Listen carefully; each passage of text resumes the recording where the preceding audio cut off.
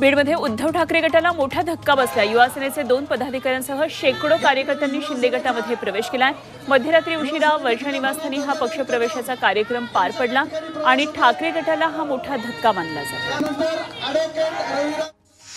शिवसेना आमदार अपात्रता प्रकरणाची सुनावणी पुन्हा एकदा लांबणीवर पडली. आमदार अपात्रतेसंदर्भात उद्या होणारी ही सुनावणी आता सतरा सप्टेंबरला होणार आहे. ठाकरेंच्या वकिलांनी हे प्रकरण मेन्शन केल्यानंतर या प्रकरणावर सहा ऑगस्टला सुनावणीची शक्यता होती आणि ही तारीख पुढे ढकलून चौदा ऑगस्ट करण्यात आली आणि आता पुन्हा ही सुनावणी लांबणीवर पडली आहे.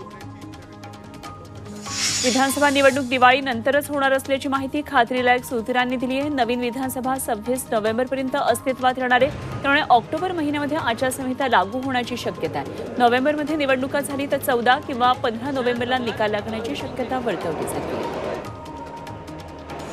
महायुती सरकारला शंभर जागाही मिळणार नाहीत असं वक्तव्य काँग्रेसचे नेते नाना पटोले यांनी केलं कॅबिनेटमध्ये खोटे निर्णय घेतले जातात विधानसभा निवडणूक एक महिना पुढे ढकलणार असंही पटोले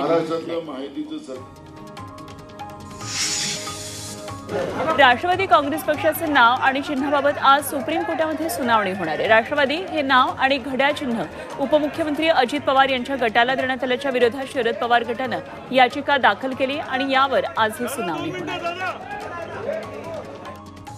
विनेश फोगाटच्या याचिकेवर आज निर्णय होणार आहे. विनेश फोगाट हिचा अंतिम सामन्याआधी शंभर ग्रॅम वजन जास्त झाल्यानं तिला अपात्र ठरवण्यात आलं होतं. आणि त्यानंतर विनेशनं क्रीडा लवादाकडे धाव घेतलेली होती. यावर दोन्ही बाजूने युक्तिवाद झाल्यानं लवादानं हा निकाल राखून ठेवला होता. राष्ट्रवादी काँग्रेस शरद पवार गटाची शिवस्वराज्य यात्रा आज सोलापूर आणि धाराशिव जिल्ह्यामध्ये होणार आहे. माढा आणि करमाळा मतदारसंघात ही यात्रा होणार आहे. टेंभुर्णी आणि करमाळा इथं सभा होणार आहे. त्यानंतर संध्याकाळी शिवस्वराज्य यात्रा धाराशिव जिल्ह्यामध्ये दाखल होईल. संध्याकाळी सहा वाजता जाहीर सभा होणार आहे. कोरेगावचे शिवसेनेचे आमदार महेश शिंदे यांनी लाडकी बहीण योजनेवरून एका व्यक्तीला दम भरला. व्हॉट्सअप ग्रुपमध्ये एका व्यक्तीनं आम्हाला नको तुमचे पंधराशे रुपये आम्हाला मराठा आरक्षण द्या असा मेसेज केला होता आणि त्यानंतर आमदारांनी त्याला फोन करून तुला ही योजना नको असेल तर तुझं नाव यामधून डिलीट करतो अशी धमकी दिली. निवडणुकीमध्ये आशीर्वाद दिला नाही तर तुमच्या खात्यातून पंधराशे रुपये परत घेणार असं धक्कादायक विधान रवी राणा यांनी अमरावतीमध्ये केलं. आमचं सरकार आल्यावर लाडकी बहिणी योजनेची पंधराशे रुपयांची रक्कम तीन हजार इतकी करू. मात्र त्यासाठी तुमचा आशीर्वाद हवा असं रवी राणा म्हणाले. रवी राणांच्या वादग्रस्त विधानावर वडेट्टीवार टीका केली. पैसा रवी राणा यांचा आहे का? असा थेट सवाल विरोधी पक्षनेते विजय वडेट्टीवार यांनी केला. तर आपण गमतीनं बोललो होतो मात्र विरोधकांनी बाऊ केला अशी सारवासारव यावर रवी राणांनी केली. मनोज जरांगेंच्या शांतता रॅलीचा आज नाशिकमध्ये समारोप होणार आहे. पंचवटी परिसरातून तपोवन ते सीबीएस अशी ही भव्य रॅली काढण्यात येणार आहे. सीबीएस चौकामध्ये जरांगेंचा मेळावा होणार आहे. या पार्श्वभूमीवर नाशिक शहरातल्या शाळा कॉलेजेसला आज सुट्टी जाहीर करण्यात आली आहे. सिटीलिंक बस सेवेच्या अकराशे फेऱ्या रद्द करण्यात आल्या. जरांगींच्या रॅलीच्या पार्श्वभूमीवर नाशिकमध्ये मंत्री छगन भुजबळांच्या निवासस्थान आणि फार्म हाऊसची सुरक्षा वाढवण्यात आली आहे एका वरिष्ठ अधिकाऱ्यासह पंचवीस पोलीस कर्मचारी निवासस्थानी तैनात करण्यात आले आहेत. भुजबळ आणि जरांगे यांच्यातल्या आरोप प्रत्यारोपामुळे वातावरण बिघडू नये यासाठी पोलिसांनी दक्षता घेतली आहे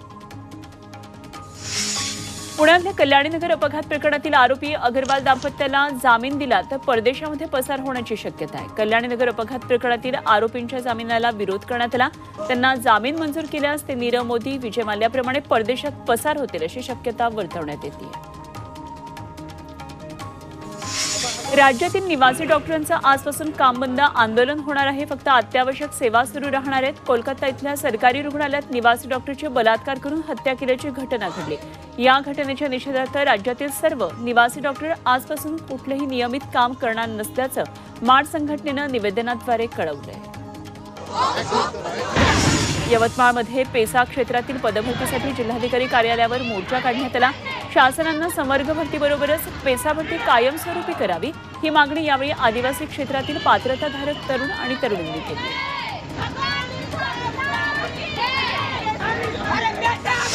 कल्याणमध्ये महापालिका हद्दीमध्ये पाचशेहून अधिक होर्डिंग्जपैकी केवळ एकशे त्रेपन्न अधिकृत होर्डिंग्ज असल्याची माहिती समोर आली आहे. शिवाय काही होर्डिंगची मुदतसुद्धा संपली आहे आणि या ठिकाणी ठेकेदार होर्डिंग लावून महापालिकेचं उत्पन्न बुडवतात. मात्र तरी देखील महापालिकेकडून कारवाई का होत नाही असा प्रश्न उपस्थित होतोय. मावळच्या वडगाव पोलीस स्टेशन हद्दीमध्ये अनेक ठिकाणी नो पार्किंगचे बोर्ड लावलेले आहेत. मात्र तरी देखील वाहन चालकांकडून बोर्डाला केराची टोपली दाखवली जाते. याकडे सदाच दुर्लक्ष करत वाहन चालक आपली वाहनं नो पार्किंग झोनमध्ये लावतात. यावर कोणतीही कारवाई होताना दिसून येत नाही. मुंबईला पाणी पुरवठा करणाऱ्या तलावांमध्ये त्र्याण्णव टक्के पाणीसाठा उपलब्ध झालाय. त्यामुळे मुंबईकरांच्या पिण्याच्या पाण्याची चिंता मिटली आहे यंदाच्या पावसाळ्यामध्ये चांगला पाऊस झालाय तर लवकरच शंभर टक्के पाणीसाठा देखील धरणांमध्ये जमा होणार असल्याचं सांगण्यात आलंय.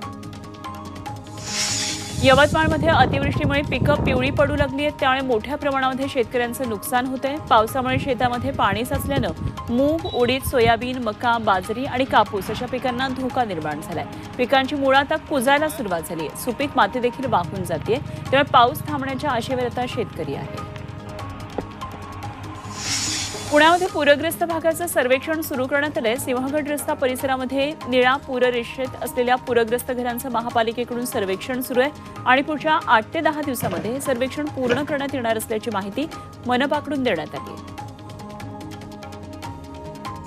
पुणे जिल्ह्यातल्या धरणांमध्ये आता एकशे अठ्ठ्याऐंशी टीएमसी पाणीसाठा जमा झालाय. जिल्ह्यातल्या सव्वीस धरणांपैकी जवळपास सात धरणं शंभर टक्के भरलेली आहेत. जिल्ह्यातील शेतीचा आणि पिण्याच्या पाण्याचा प्रश्न आता मिटलाय. गेल्या वर्षीच्या तुलनेमध्ये यंदा पाणीसाठ्यामध्ये मोठी वाढ झाली आहे. लोणावळा नगरपालिकेमध्ये अठराशे शहात्तर सालापासून पावसाची नोंद होतीये. दरवर्षी लोणावळ्यामध्ये मुसळधार पाऊस कोसळत असतो. यासाठी लोणावळा नगर परिषदेत पावसाच्या नोंदीचा फलक लावण्यात आला आणि त्यानुसार संपूर्ण पावसाळ्यामध्ये सात हजार मिलीमीटरपेक्षा जास्त पाऊस झालेल्या वर्षांची नोंद करण्यात आली पुणे रेल्वे विभागाच्या उत्पन्नात मोठी वाढ झाली आहे. जुलै महिन्यामध्ये पुणे रेल्वे विभागाचं उत्पन्न एकशे एक्क्याण्णव कोटी छप्पन्न लाख रुपये जमा झालं. रेल्वे प्रवाशांच्या संख्येमध्ये देखील दुपटीनं वाढ झाली. माल वाहतुकीतूनही पुणे रेल्वेनं चांगलं उत्पन्न मिळवलं.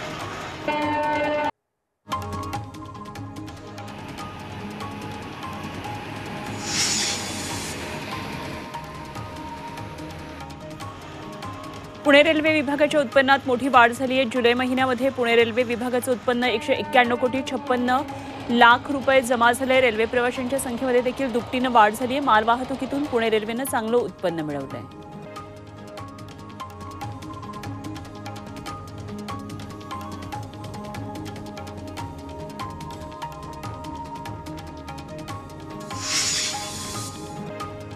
मावळच्या देहूमध्ये भव्य तिरंगा सायकल रॅली काढण्यात आली. रॅलीमध्ये एकूण शंभर सायकल्सवार सहभागी झाले होते. यामध्ये देहू नगरपंचायतीचे कर्मचारी अधिकारी आणि नगरसेवकांनी सहभाग नोंदवला. यामध्ये पस्तीस महिलांचा समावेश होता. राज्यातील दहावी आणि बारावीच्या विद्यार्थ्यांच्या सर्वसाधारण परीक्षा वेळापत्रकामध्ये बदल होणार. आहे दहावीची परीक्षा एक मार्च ऐवजी वीस मार्चला होणार आहे आणि बारावीची परीक्षा एकवीस फेब्रुवारी ऐवजी अकरा फेब्रुवारीला होणार. आहे दहावी आणि बारावीच्या परीक्षा दहा दिवस आधीच घेण्याची तयारी राज्य परीक्षा मंडळानं सुरू केली आहे.